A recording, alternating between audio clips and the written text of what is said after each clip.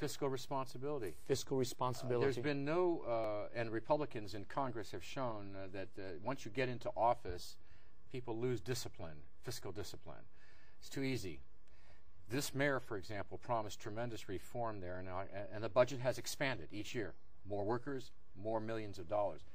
Is this something that you are going to uh, be involved with, or is it one of the lesser issues compared to some of the others that you have in mind? Uh, uh, let me tell you this, uh, Arthur. I think what's really important to San Franciscans, ratepayers, and taxpayers, we're, we're, we're not against paying taxes.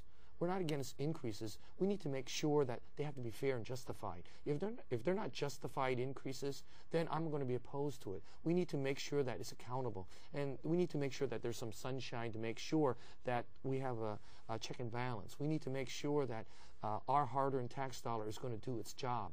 Because if it doesn't get it, get it done, what's going to happen is we'll have to come back and ask for more.